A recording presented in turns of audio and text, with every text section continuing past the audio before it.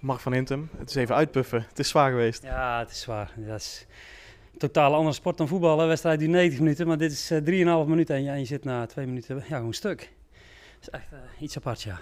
Heb je na het moment dat je ja hebt gezegd nog een aantal keer spijt gehad? Nee, eigenlijk niet. Het is stom, want iedereen zei tegen me, je bent gek dat je gaat boksen eigenlijk. Uh, maar ik heb er totaal geen spijt van gehad, want ik heb een leuke avond uh, meegemaakt en ook een succesvolle avond voor RKC. Is mijn oude club, heb ik veel aan te danken. Ik ben hier uh, begonnen en geëindigd, zes jaar gespeeld. Dus ja, als ik iets terug kan doen voor die club, dan doe ik dat graag aan mijn liefde. Ja, dat was ook de reden dat je eigenlijk meteen ja hebt gezegd. Ja, klopt. Zeker ook uh, vanwege de band die ik heb met Willem. Samengewerkt bij Vitesse. En uh, toen hij kwam met de vraag, toen heb ik meteen ja gezegd, ja.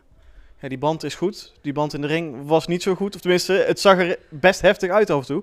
Gaat het echt hard aan toe? Ja, zeker. Ja. Je probeert elkaar dan toch uh, goed te raken. Ja, daar ben je sportman voor. Ik moet zeggen, ik heb heel relaxed toegeleefd naar deze wedstrijd. Ik heb eigenlijk totaal geen zenuwen gehad. Niks. Ook op het moment dat ik in de ring stond, dacht ik gewoon van ja ja, ik ga gewoon mijn ding doen. En het zit toch een beetje in je dat je dan, uh, als de wedstrijd begint, dat er knop omgaat. En dan is het, je, hebt, je hebt een paar pauzes natuurlijk, na de eerste ronde, na de tweede ronde. Uh, wat, gaat er dan, wat gebeurt er dan? Want je staat al een paar keer uit te hijgen, je hebt wat tikken gehad, maar ook uitgedeeld. Ja. Wat denk je dan? Ja, ik dacht op dat moment, na de tweede ronde, dacht ik alleen nog maar van uh, even zien door te komen gewoon en blijven staan.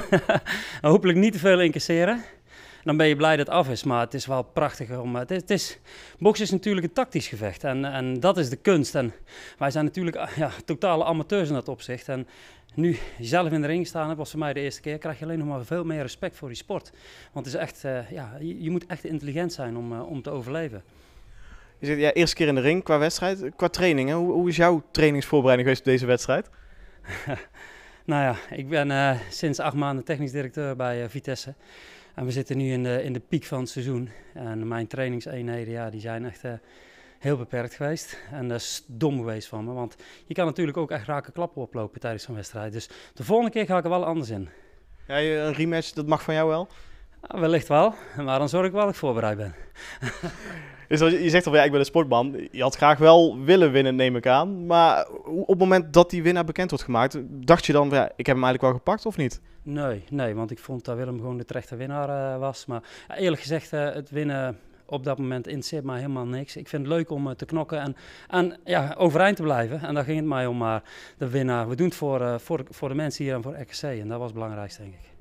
Mooie avond gehad om af te sluiten. Nog even een afterparty en dan is het ja, mooi geweest. Ja, John de Bever die gaat zingen. Die was twee jaar geleden op een bruiloft. Dus, dus daar ga ik dadelijk maar weer naar luisteren.